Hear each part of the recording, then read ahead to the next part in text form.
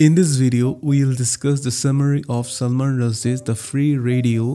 For critical analysis, visit the blog. Now let's start. Ramani is a handsome young rickshaw driver who has inherited his profession from his father.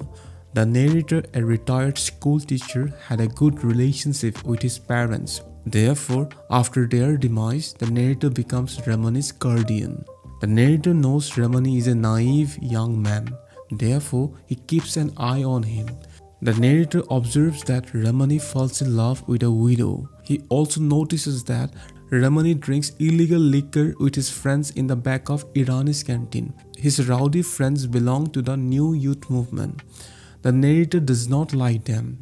Therefore, he advises Ramani to keep himself away from such harmful company, but he ignores the narrator's advice. The narrator also tries to do his best to keep him away from the widow, one day he asks her to forget Ramani, but it is no use. Later, they get married.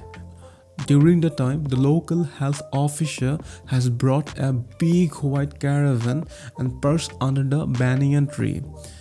The youths with armbands always guard the caravan and they take men into the caravan every night.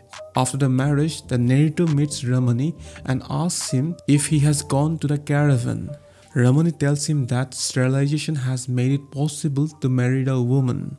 The narrator is astonished to hear this from Ramani and becomes angry. Ramani also informs him that he will soon receive a free radio from the government because he supports the government's campaign.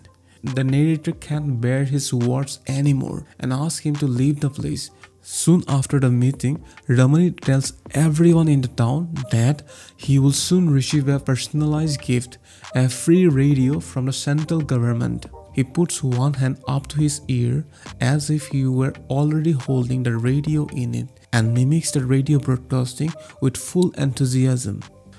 This is All India Radio. Here is the news. A government spokesman today announced that Ramani Rickshawala's radio was on its way and would be delivered at any moment. And now some playback music.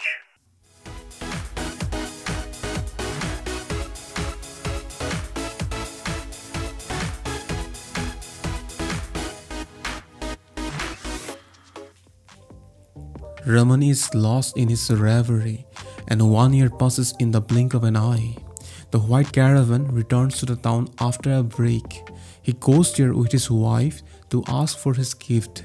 After a short time, sounds of disagreement are heard in the caravan. They beat him up in the heat of the moment. Consequently, Ramani no longer puts his hand up to his ear. After a few days, Ramani sells his rickshaw. He tells the narrator that he is leaving for Bombay along with his family. He is going to Bombay to be a bigger film star than Shashi Kapoor or Amitabh Bachchan. After a few months, the narrator receives letters from Ramani which are filled with stories about his prosperous career in Bombay.